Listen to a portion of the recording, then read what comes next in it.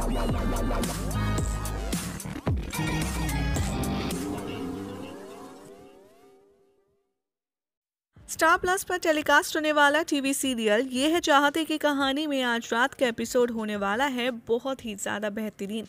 आज रात के एपिसोड की शुरुआत होगी प्रिशा से, जो असल में प्रिशा नहीं बल्कि महिमा होगी। रुद्राक्ष महिमा को प्रिशा समझकर पीछे से पकड़ लेगा और उसे हक करते हुए रोमांस शुरू कर देगा। महिमा रुद्राक्ष को जोरदार धक्का देगी और बताएगी कि मैं प्रिशा नहीं हूँ। ये बात देखकर रुद्राक्ष बहुत ज़्यादा हैरान हो जाता है और कुछ घंटे पहले की कहानी शुरू होती है। यहाँ पर आज रात के एपिसोड में आप देखेंगे कि सारांश जैसे ही महिमा के पास से सोकर उठेगा, उसे बहुत बड़ा शौक लगेगा, वो चीखता चिल्लाता हुआ नज़र आएगा और महिमा से गुस्से में बात करते हुए कहेगा कि, आप समझते क्यों नहीं हैं कि मैं आपका बेटा नहीं हूँ? क्यों मेरे आसपास आप बार बार आ जाती हैं? ये कहकर प्रशा की एब्सेंसी में महिमा से बहुत ही ज़्यादा रूडली बिहेव करेगा सारांश और सब कुछ अपने दिल की बात कहकर उस रूम से कहीं और चला जाएगा।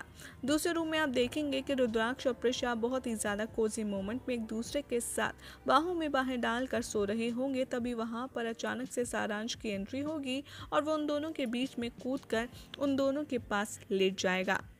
जैसे ही सारांश इन दोनों के बीच में लेटेगा, यहाँ पर प्रिशा उससे पूछेगी कि क्या हुआ कना, तुम इतनी जल्दी क्यों जग गए? तो सारांश अपने दिल की बात बताते हुए प्रिशा से शिकायत करेगा और कहेगा कि, मॉम, आपको पता है ना कि मैं आपको रोज़ सुबह उठ करके देखना चाहता हूँ तो आप मेरे से दूर क्यों जाती हो? आपको अच्छे से पता है कि महिमा का मुझे नहीं पसंद, फिर भी आप मुझे उनके आसपास क्यों छोड़ जाती हो? और भी ऐसी ढेर सारी बातें सारांश प्रिशा से कंप्लेनिंग वे में कहता हुआ नज़र आएगा, जिसे देखकर रुद्र और प्रिशा उसे काम डाउन करने की कोशिश करेंगे और कहेंगे कि, ओके बाबा, आगे से हम तुम्हारा पूरा ख्याल रखेंगे और तुम्हें किसी के पास भी अकेला नहीं छोड़ेंगे। ये बात देखकर सारांश प्रिशा को समझाता है और सारांश रुद्राक्ष से भी कहता है कि, हम तीनों एक फैमिली हैं, हम तीनों के अलावा और कोई भी हमारे बीच में नहीं आ सकता। ये बात सुनते हुए रुद्राक्ष भी सारांश की बात मान लेता है और उससे प्रॉमिस करता है कि हम हमेशा एक दूसरे के साथ रहेंगे।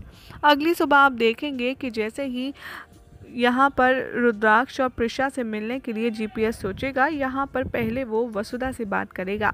आपस में बातचीत करते में महिमा का सपोर्ट करते हुए वसुधा आएगी नज़र और वो के अपने हस्बैंड जीपीएस से कहेगी कि महिमा ने काफ़ी कुछ सहा है इतने दिनों में और उसे प्रिशा के पास रहकर सारे सुख सुविधा उठाने का पूरा पूरा मौका मिलना चाहिए। ये बात सुनकर जीपीएस गुस्से में कहता है कि हमारी प्रिशा ने भी काफ़ी ज़्यादा परेशानियाँ देखी हैं, उठाई हैं, लेकिन मुझे नहीं लगता कि महिमा महिमा का। इस समय खुराना हाउस में रहना बिल्कुल भी ठीक है। यहाँ पर गुस्से में प्रिशा की माँ ये कहती हुई अपने हस्बैंड से आएगी नज़र कि तुम्हें प्रिशा के अलावा कुछ और दिखता भी है कि नहीं? महिमा कितनी तकलीफ़, कितनी परेशानियों से गुजर रही है। यहाँ पर दोनों बेटियों के लिए हो जाएगी इन दोनों की आपस में फ़ाइट शुरू, जिसके बाद आप देखेंगे कि कोई भी सोल्यूशन नहीं निकलेगा और एट लास्ट जी पी वहाँ से डिस्कशन में से उठकर चले जाएँगे। दूसरी ओर खुराना हाउस में आप सब देखेंगे कि रुद्राक्ष और सारांश अपनी क्लासेस के लिए तैयार हो रहे होंगे। अपने आप जहाँ पर सारांश को तैयार कर रही होगी प्रेशा और रुद्राक्ष उसे अपने पास बुलाने के लिए, उसे शू लेस बांधने के लिए रिक्वेस्ट करेगा। एक तरफ़ है प्रेशा का सारांश और दूसरी तरफ़ है उसका हस्बैंड रुद्राक्ष और दोनों को ही तैयार करने में बेचारी प्रेशा की बैंड बच जाएगी इन दोनों के बीच में महिमा की एंट्री होगी इस रूम में, जो दूर खड़ी हुई सारांश को देख रही होगी कि कितने प्यार से प्रिशा उसके बेटे को तैयार कर रही है। प्रिशा जैसे ही महिमा को देखेगी, वो उससे अंदर आने के लिए कहेगी प्रिशा जानबूझकर महिमा को अंदर बुलाएगी और सारांश के बाल ठीक करने के लिए उसके पास उसे छोड़ देगी। दूसरी तरफ़ सारांश को छोड़ करके प्रिशा, रुद्राक्ष के शूलेस बांधेगी और उन दोनों को ही देखने लगेगी।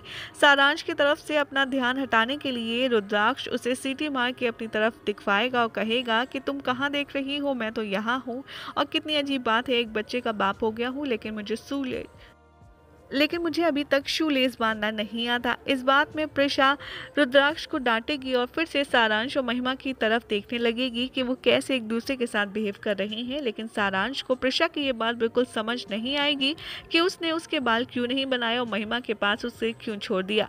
ये बात देखते हुए सारांश मुँह बनाएगा और प्रिशा को गुस्से से देखेगा।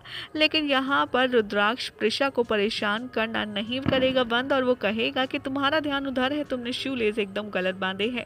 प्रिशा यहाँ पर सॉरी कहेगी, रुद्राक्ष को और कहेगी कि दरअसल मैं चाहती हूँ महिमा अक्का के साथ सारांश की बॉन्ड एकदम ठीक हो जाए तो यहाँ पर प्रिशा से रुद्राक्ष ये भी प्रॉमिस करता आएगा नज़र कि हम जल्द से जल्द किसी एक अच्छे साइकेट्रिस्ट के पास महिमा अक्का को ले जाएँगे ताकि सब कुछ पहले जैसा हो पाए।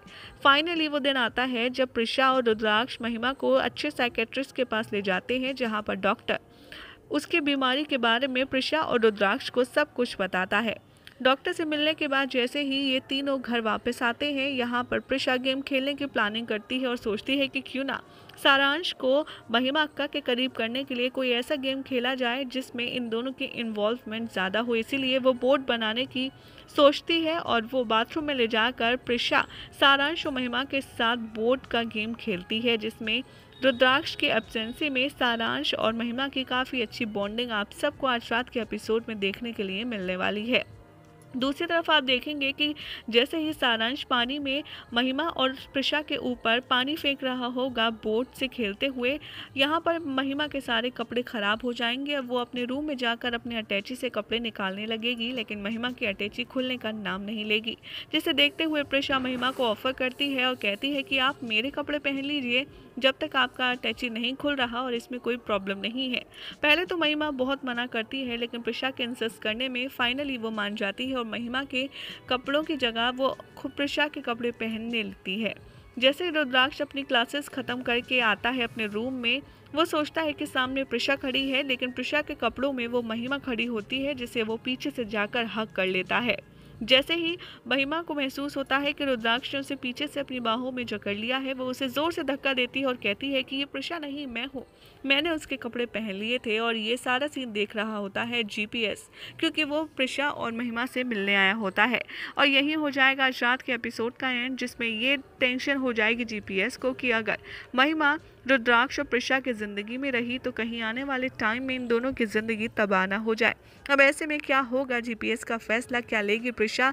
डिसीज़न ये सारे इंसिडेंट्स देखने के बाद ये सब कुछ आपको देखने के लिए मिलेगा आज रात के एपिसोड में।